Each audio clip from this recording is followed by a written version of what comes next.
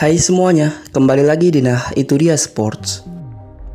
Dalam video kali ini, kami akan menyampaikan jadwal siaran langsung pekan kedua Liga 1 Indonesia 2022-2023 beserta daftar klasemen sementara, top scorer sementara, dan top asis sementara.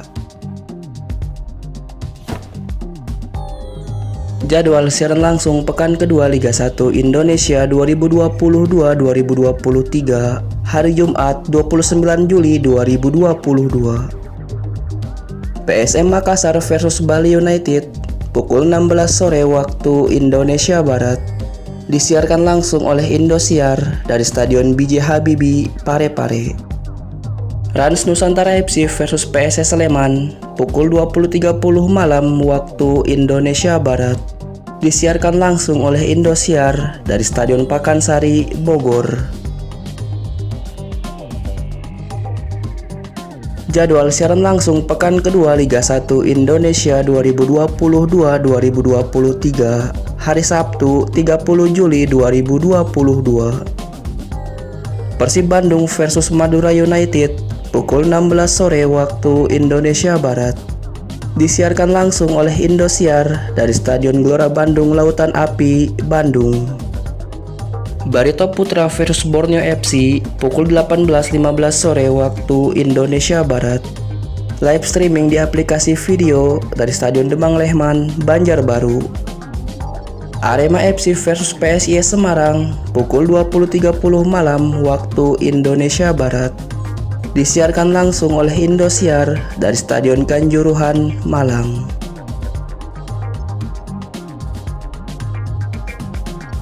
Jadwal siaran langsung pekan kedua Liga 1 Indonesia 2022-2023 hari Minggu 31 Juli 2022. Persik Kediri versus Bayangkara FC pukul 15.15 .15 sore waktu Indonesia Barat live streaming di aplikasi video dari Stadion Brawijaya, Kediri.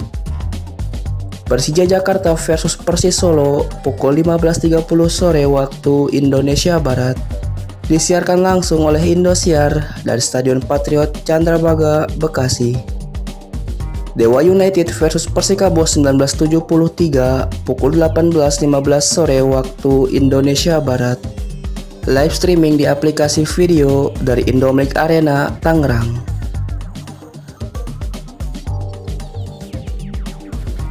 Jadwal siaran langsung pekan kedua Liga 1 Indonesia 2022-2023 hari Senin 1 Agustus 2022. Persebaya Surabaya versus Persita Tangerang pukul 20.30 malam waktu Indonesia Barat disiarkan langsung oleh Indosiar dari Stadion Gelora Bung Tomo, Surabaya.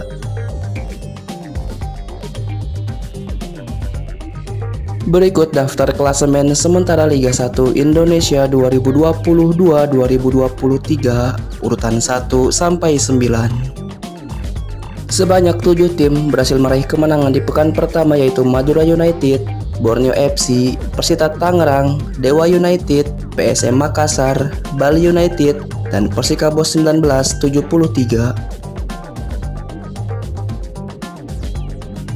Berikut daftar klasemen sementara Liga 1 Indonesia 2022-2023 urutan 10 sampai 18. Persis Solo, PSS Sleman, Persija Jakarta, Persebaya Surabaya, Persik Kediri, Arema FC dan Barito Putra menempati urutan 7 terbawah usai sama-sama kalah di pekan pertama. Berikut daftar top scorer sementara Liga 1 Indonesia 2022-2023. Lulinha dari Madura United menempati urutan pertama usai menyarangkan 3 gol. Berikut daftar top asis sementara Liga 1 Indonesia 2022-2023. Malik Risaldi, Muhammad Hargianto, dan Messi Doro memimpin dengan sama-sama mengemas 3 asis. Sekian video kali ini, sampai ketemu lagi di video selanjutnya. Terima kasih.